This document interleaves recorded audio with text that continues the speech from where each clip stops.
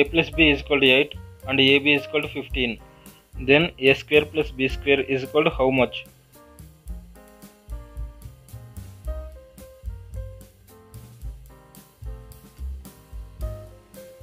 Now we can apply here a plus b whole square formula.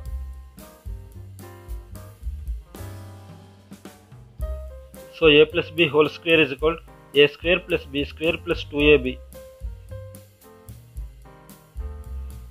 now we can apply a plus b and ab values in this equation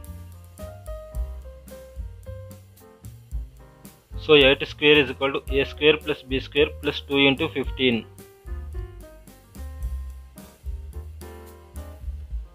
So 64 is equal to a square plus b square plus 30.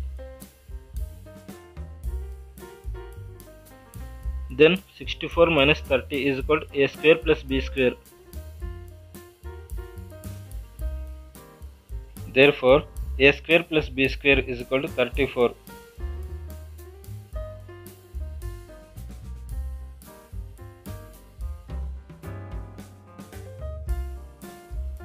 If you like this video, please subscribe my channel and press on the bell icon.